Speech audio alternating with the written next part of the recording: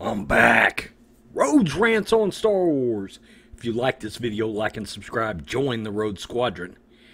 Hit that notification bell so you know when I'm back. Today, very quickly, Lucasfilm has stepped in and removed the copyright claim from Star Wars Theory Vader film. I feel good. I'm really happy for Star Wars Theory. The guy loves Star Wars.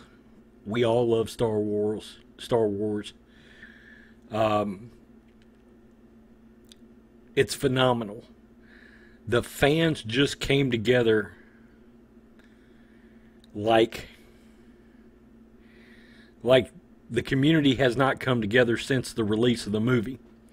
So, twice Star Wars Theory has brought the community back together as one. Um, I will tell you, I made a video the other day where I thought about the idea or talked about the idea that maybe it was getting close to time to have to boycott other Disney products besides Star Wars. We don't have to worry about that sort of thing anymore at this point, depending on how you feel about episode 9. So we are back to business as usual. It's a great day for Star Wars fans.